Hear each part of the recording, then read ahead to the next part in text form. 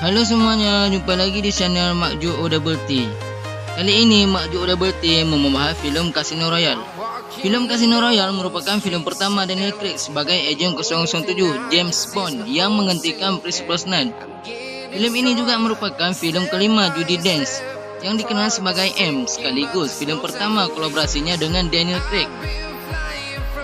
Filem ini ditayangkan secara perdana di kota London pada tanggal 14 November 2006 dan dirilis di Britania Raya serta Amerika Serikat pada tanggal 17 November 2006. Filem ini juga mendapatkan review positif dari para kritikusnya.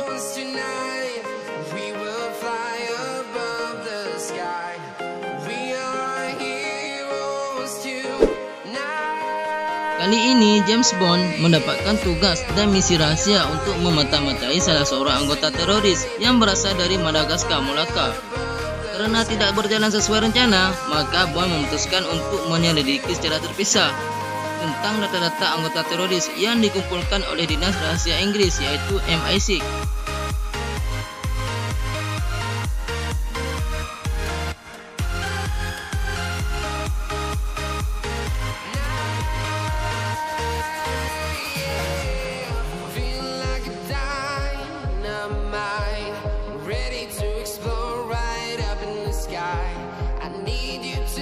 Namun dengan berbekal informasi tersebut, James Bond kemudian menuju ke Nassau, Bahamas untuk bertemu dengan Alex atau lebih dikenal sebagai Simon Abkarian dan pacar perempuannya Solange.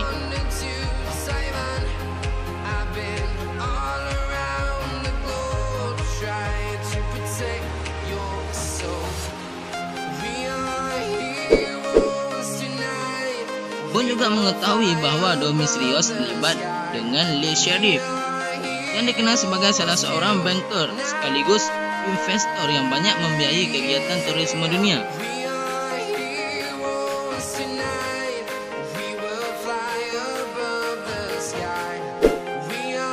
Berdasarkan informasi tersebut dari intelijen, Lee Sheriff sedang merencanakan pengumpulan dana melalui sebuah kegiatan judi maraton dengan jumlah taruhan yang tinggi dalam sebuah permainan kartu poker di tempat judi yang terkenal bernama Le Casino Royale di Montenegro.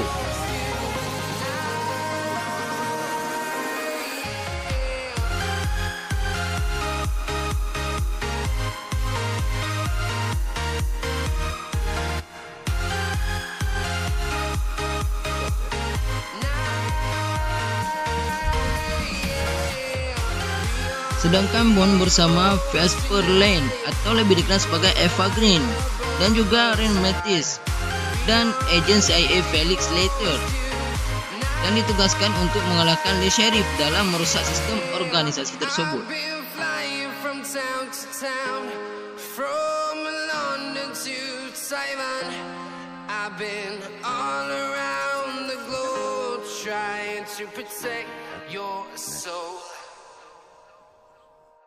Film ini juga mendapatkan skor 80 dari 100 berdasarkan 46 kritik menunjukkan ulasan yang baik. Berdasarkan Cinema Score, film ini mendapatkan nilai A dari penonton film untuk skala A+ sampai F.